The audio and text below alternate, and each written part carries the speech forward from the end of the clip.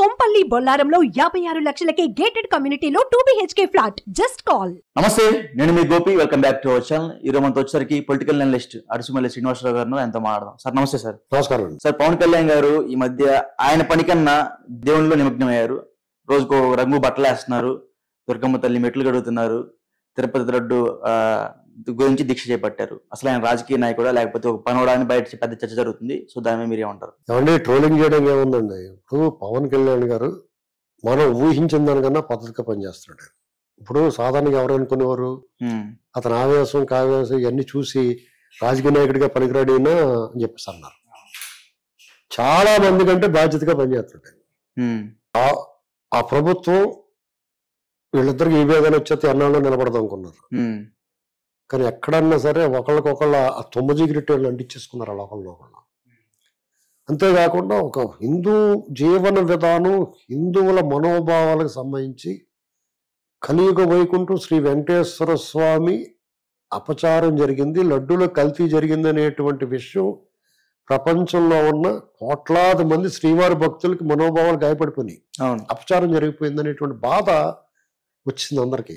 మనో వ్యాకులత వచ్చేసింది.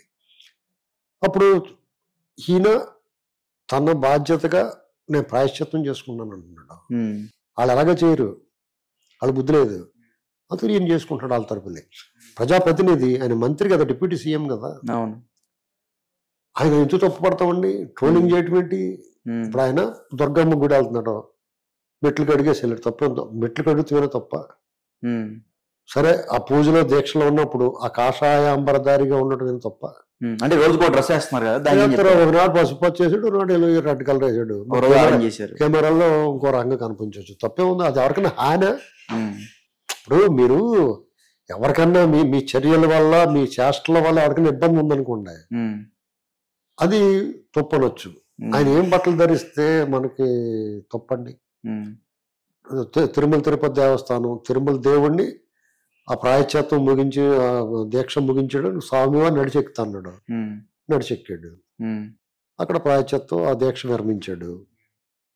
ఆ తప్పి అలాగవద్ది దానికి ఆయన ఎక్కలేకపోయాడు. ఆయాసం వచ్చింది. ఆయాసం అవుతుంది. ఎక్కాలి కదా.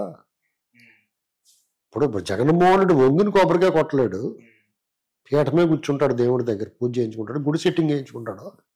నిన్న కాక మొన్న గుడి నేను నడిచెక్తానని అబ్బాయి తూచి అన్నాడు అవును. తర్వాత మళ్ళీ రోడ్డు మార్గాన్ని వెళ్తాడు మళ్ళీ అది తూచి అన్నాడు. డిక్లరేషన్ ఇవ్వడం నీకు రోగమా? లేదు ఇప్పుడు నేను వెళ్ళని చెప్పాలి? నేను క్రిస్టియన్ని నేను చెప్పను? క్రిస్టియన్ అదే అనుమానం ఉంది. మొహమ్మద్లో అని చెప్పాలని భయమే ఉందండి. ఇప్పుడు ఈ దేశంలో ఎవడు ఏ మతాన్నైనా ఆచరించవచ్చు. నువ్వు ఎదట మతాలను కించపరిచినంత వరకు నీకు నీ తప్పే లేదు తప్పే ఉందండి దాంట్లో. ఎంతమంది క్రైస్తవులు లేరు? ఇప్పుడు మనం ఏమన్నా కాదంటాం మనం అందరం కలిసిమెలిసే కదా ఉన్నాం. అవును. ఇప్పుడు నేను పూర్తిగా హిందువుని హిందూ మతాన్ని ఆచరిస్తాను. అలాగని చెప్పి మిగతా మతాలతో మాట్లాడమా మనం? నువ్వు మాట్లాడా. ఇప్పుడు క్రైస్తవం ఉంది. నేను మా మా ఊళ్ళో మా జాన్ మాస్టర్ అని ఉండేవాడు. నా చిన్నప్పటి నుంచి వాళ్ళతో మాకు మా ఇంటికాడికి హార్మోని హార్మోనియం పెట్టి పట్టుకెళ్ళేవారు వాళ్ళు. Antique harmonium piece. వాళ్ళు పాటలు నేర్చుకుని పాడి నాకు వచ్చేసి పాటలు పోడండి నేను బోళ్ళు పాటలు పాడేస్తాను. ఎందుకు మా మిసెస్ వాళ్ళు చర్చికి సైట్ ఇచ్చారు. మా వాళ్ళ ఇంటి వాళ్ళ అమ్మగారి ఇంటి దగ్గరలోనే చర్చ్ ఉంటుంది. అది ఇవాళ కోటి రూపాయల సైట్ అది. అబ్బా. ఏంటండి? ఏమమ్మా అది ఇచ్చేయంటావా? నన్ను అనేసార్లు పిలుస్తాడు ఆ ఫాదర్. శ్రీనివాసరావు గారు రెండు మీరు ఒకసారి అండి నేను వెళ్ళిపోండి కదా పాటలు మాటలు వెళ్ళిపోండి తర్వాత ఒకసారి వెళ్ళాను. అని అమ్మన్నాడు తప్పే ఉంది. మరి ఎందుకు ఒప్పుకోవట్లేదు అంటారు ఆయన? ఎవరో? జగన్ గారు. బుద్ధి. ఒక్కరి బుద్ధి అది. పరమత సహనం లేకపోవడం అది. తిరుపతి ప్రతిష్టను దిగజార్చేసాడు చేతులారని భయం వేసి ఉంటుంది. స్వామి దగ్గరికి వెళ్తేనే చెప్పించేస్తాడేమో అని పైగా వెళ్తే ఇంట్లో వాళ్ళు ఒప్పుకోరో. రకరకాల కారణాలు ఉంటాయి. ఇప్పుడు ఆయన నేను నాలుగు గోడల మధ్య భయం చదువుకుంటుంటే భయ బహిరంగంగానే చదువుకుని ఎవడొద్దాడు ఓకే తిరుపతి లడ్డు అన్నారు కదా. తిరుపతి లడ్డు ప్రస్తుతానికి అయితేనేమో సిబిఐ చేతిలో ఉంది. మళ్ళీ ఇప్పుడు వాళ్ళు సిట్టికి ఇస్తా ఉన్నారు. ఈ సిట్టికి ఇస్తా ఉంటే వీళ్ళు ఎందుకు భయపడుతున్నారు? ఇప్పుడు సిట్ ఆల్రెడీ ఇచ్చేసారు. సిట్ ఆల్రెడీ దాని పని దాన్ని చేసుకుని పోతుంది. సుప్రీంకోర్టుకి వెళ్ళారు వీళ్ళు. వీళ్ళు ఏంటంటే దాన్ని సుప్రీంకోర్టు చిట్టింగ్ జడ్జి చేత చేయించమని ఒకళ్ళు ఇంకొకళ్ళు ఇంకో రకంగా సుబ్రహ్మణ్య స్వామి వాళ్ళు రకరకాలుగా చేస్తున్నారు. సుబ్బారెడ్డి గారు మరీ ముఖ్యంగా. ఇప్పుడు ఏమీ లేదండి. ఇప్పుడు సుప్రీంకోర్టు ఇవాళ ఉంటుంది. దాని మీద ఏదో ఒకటి విషయం తేలవచ్చు లేకపోతే మళ్ళీ రెండు వారాల దాకా వాయిదా వేసేయచ్చు. లేకపోతే ఇంకో నాలుగు రోజులు వాయిదా వేయచ్చు. లేకపోతే కోల్డ్ స్టోర్లో పెట్టేయచ్చు. తీర్పు రిజర్వ్ చేయొచ్చు ఏమైనా జరగచ్చు. ఒకటి మాత్రం నిజం. సిబిఐకి ఇచ్చినా అది ఎవరికి ఇచ్చినా లేదా సిట్టే దర్యాప్తు చేసినా ఆల్రెడీ లడ్డూలో కల్తీ జరిగిందా లేదా? ఒకటి. రెండు ఆ రిపోర్ట్ వచ్చింది. వాళ్ళు వాళ్ళు వాడిన నెయ్యి ఒక ఒక బ్యాచ్లో నెయ్యిలో సగం వాడారు సగం వెనక్కి పంపించారు. ఒక బ్యాచ్ది. ఆ సగం వెనక్కి పంపించిన దాన్ని టెస్ట్ చేయించారు. అది కల్తీ వచ్చింది. అంచేత ఆ బ్యాచ్ మొత్తం కల్తీ అని చెప్పి నిర్ధారణకు వచ్చారు వాళ్ళు. ఆ మాట బయట చెప్పారు. తప్పేముంది? చెప్పకపోతే తప్పు. సుప్రీంకోర్టు ఏమైనా వ్యాఖ్యానించడం ఏమైనా తీర్పు రాని ఉన్నాయి. ప్రజల మనసులకైతే డిసైడ్ అయిపోయింది. ఒకటి న్యాయస్థానాల్లో ఒకటి రెండు ప్రజా కోర్టు. తర్వాత ఆధ్యాత్మిక దేవునితో అనుసంధానం ఉండి భక్తి పారవశ్యంలో ఉండి మత ఆచారాలను హిందూ జీవన విధానాన్ని పాటించే వాళ్ళు మనస్తత్వం ఒకలా ఉంటుంది.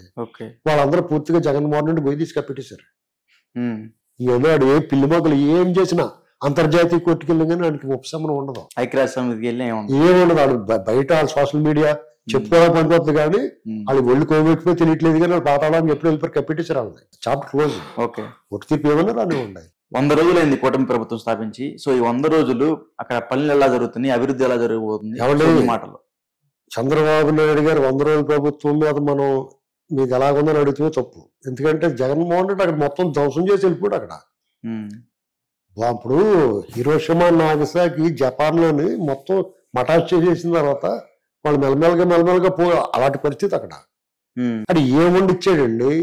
మొత్తం నాకేసి ఇప్పుడు శుభ్రంగా గోక్కు తినేసి ఏళ్ళు కూడా నాకేస్తారు చూడండి కొంతమంది పళ్ళు క్లీన్ చేసేసి కడగక్క లేకుండా తినేస్తారా? తినేసి ఏళ్ళు కూడా నాకేసుకుంటే చేయకూడదు కుక్క లేకుండా అలా చేసిపోయాడు. ఇప్పుడు దాని అంతా పోగొట్టుకుని జాగ్రత్తగా చేసుకుని అమరావతిలో మొదలెట్టారు? దానికి లోన్ కూడా శాంక్షన్ అయింది. పోలవరం పనులు మొదలుపెట్టారు. పెన్షన్లు ఇస్తున్నారు జీతాలు ఇస్తున్నారు ఆడవాళ్ళు రేపు పొద్దున్న మహిళలకు దీపావళి నుంచి వాళ్ళకి సిలిండర్లు కూడా ఇస్తున్నారు. సిలిండర్ విషయంలో కొంచెం ఏదో అడిడి ఉందంటారు అని చెప్పి ఏం లేదు ఇచ్చేస్తారండి వాళ్ళు సొమ్ము పోయిందండి. ఇచ్చేస్తారు ఏముంది? ఓకే.